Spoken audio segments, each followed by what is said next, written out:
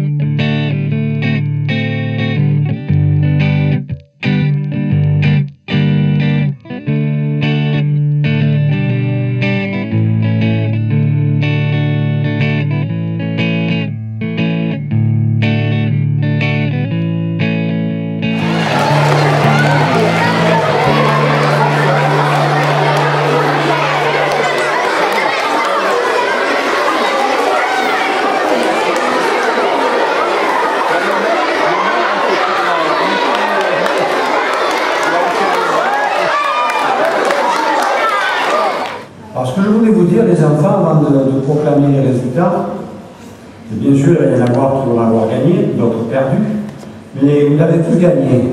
En fin de compte, l'essentiel, c'était d'avoir le courage de vous présenter devant les électeurs, devant vos copains. Vous avez eu un projet, un programme, donc je les ai vus d'ailleurs. Il y en a certains qui sont très ambitieux, un peu chers. Mais on verra tout ça ensemble.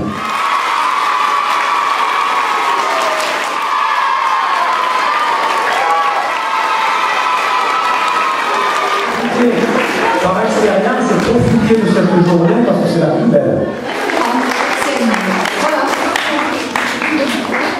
Vous avez l'entreprise, elle est courageuse. Elle n'est pas évidente parce que ce n'est pas simplement être représenter sa classe, c'est aller au-delà de, de ce qu'on peut faire en tant que, que responsable d'une classe, ça n'a rien à voir. Et là, vous êtes vraiment investi, vous avez mis le doigt dans quelque chose qui euh, peut avoir des, des- des répercussions sur votre vie future, vous donner envie de, de continuer vers, vers cette, sur cette voie-là et surtout de participer à la vie, à la vie publique, à la vie locale de votre village. Je suis présentée avant tout parce que j'aime rendre service et avoir des responsabilités. Et c'est pour cela que je, que je m'investirai le plus possible dans ce travail que l'on m'a donné. On va faire de beaux projets avec ceux qui ont été élus et que ça va donner envie à d'autres personnes de s'investir l'année prochaine et de se présenter. On va les applaudir. Merci l'école. Je vous donne rendez-vous. Parents, grands-parents euh, et les enfants. Moi je pense que là l'école primaire pourra aussi venir, donc ça fera énormément de monde à la salle des fêtes. Donc le 10 décembre à 14h à la salle des fêtes de Bormignosa.